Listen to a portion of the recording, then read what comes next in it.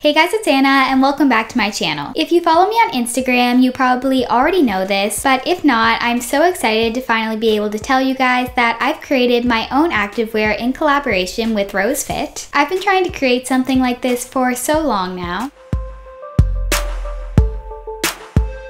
I would love to make merch. The only thing is I don't really want to make just like plain t-shirts and stuff. I would rather make like high quality activewear and stuff like that. I just don't really know where to start with that, so I'm just kind of waiting to see if an opportunity to make merch comes, and if it does, then that's definitely something that I would love to do. And I've actually tried to work with a few different companies to create activewear with, but nothing seemed to work out until Rose Fit reached out to me and asked if I wanted to collaborate with them to create my own outfit, and I honestly love how it turned out so much. Since this is my first time creating creating my own apparel. We just have this one outfit for sale now, which is a tank top and leggings. But if you guys seem to like this outfit, then I definitely love to create more different outfits for you guys in the future. You'll see this later on in the video, but what I love about the tank top is that you can wear it two ways. So for a fitted tank top, you can tie it up in the back, or you can untie it for more of a loose fitted tank top. And the leggings have this really pretty shiny rose gold pattern at the bottom, which I love about those. I also wanted to let you guys know that the quality of these items are amazing